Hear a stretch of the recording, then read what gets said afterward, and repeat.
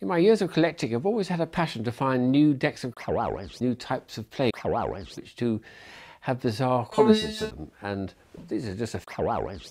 But uh, the obvious thing to start with, which I did in think, didn't think, in my earliest days, was to find cards of different sizes. And here we've got small and big cards. Lasagna!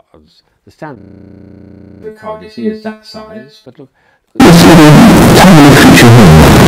The it looks as though could actually see the cards. I think it's a German deck because it's all about deal or die with a silver queen. But it's very well made.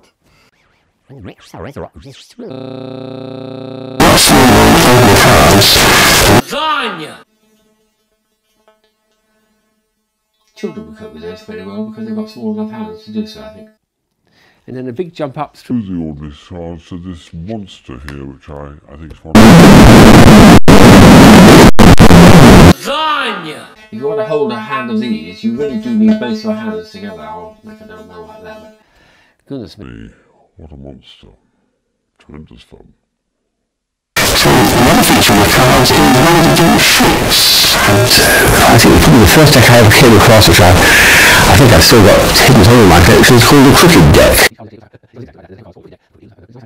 This one here, which is Ever so slightly tapered at the top, or rounded, I should say, at the top and the bottom, so it's a kind of it looks like a beer can at the back, which is often.